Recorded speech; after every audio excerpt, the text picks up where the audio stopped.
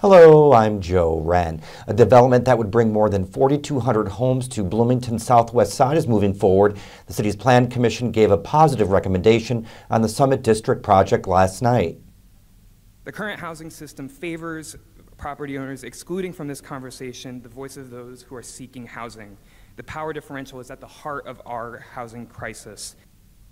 Residents who live near the proposed development site largely oppose it. Its recommendation will be considered later by the City Council, which will have the final vote. State Senator Jean Breaux has died. Breaux has been dealing with an infection that caused her to miss the entire 2024 legislative session.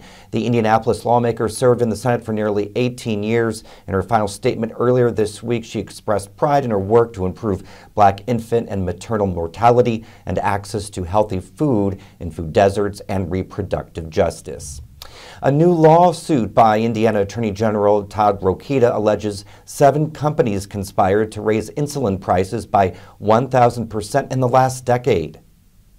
The main goal here, though, is to change behavior and, and keep these prices from escalating and actually force them to be more reflective of the actual cost uh, going forward.